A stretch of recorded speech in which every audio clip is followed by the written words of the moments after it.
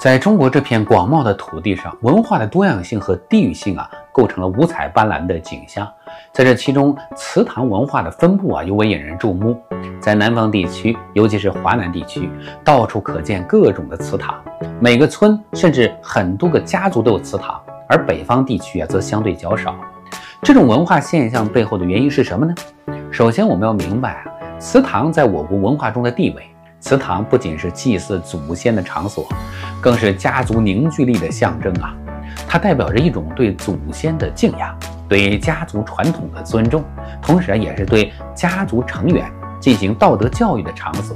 因此啊，祠堂的存在对于维护家族团结、弘扬家族精神有着不可替代的作用。而南方人热衷于修建祠堂，与南方的地理环境、社会结构和文化传统啊有着密切的关系。南方地区多山多水多耕地，但人口分布相对稀疏。这种地理环境啊，使得南方人更加注重家族的凝聚力，因为只有家族团结了，才能更好的在复杂的环境中生存和发展，不然就被淘汰了。所以啊，我们可以看到，在南方收稻谷或者建房子时，村里面的人呢，都自然而然的去帮忙，因为大家知道。互帮互助啊，才能在艰苦的环境生存下去。同时，南方的经济发展也比北方早，商业活动也更为活跃。在商业社会中，人与人之间的信任和合作啊，显得尤为的重要。而祠堂正是培养这种信任和合作的重要场所。因此，南方人非常注重祠堂。要商议什么大事情啊，都需要拜一下祖宗啊，让祖宗做个见证。当然了，这种事情并不科学。但人们就经常这样做。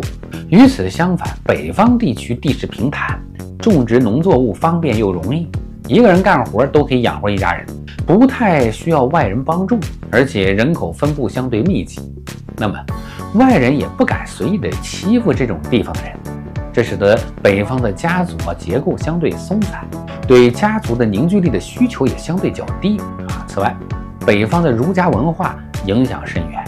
强调的是个人的修养和社会秩序，而不是家族的团结。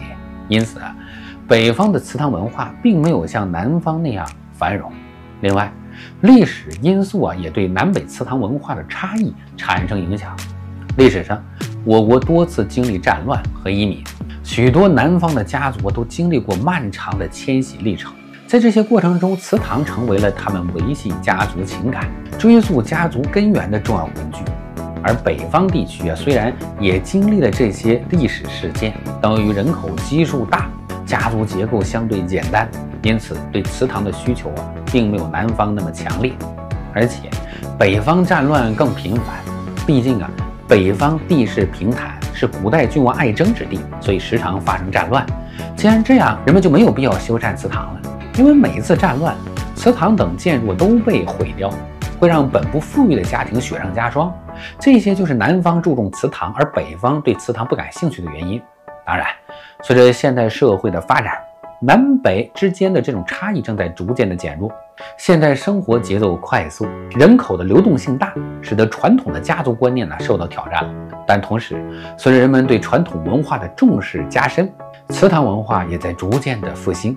在许多城市中，都出现了仿古的祠堂建筑，不仅用于祭祀祖先，还成为社区居民交流活动的场所。对此你怎么看？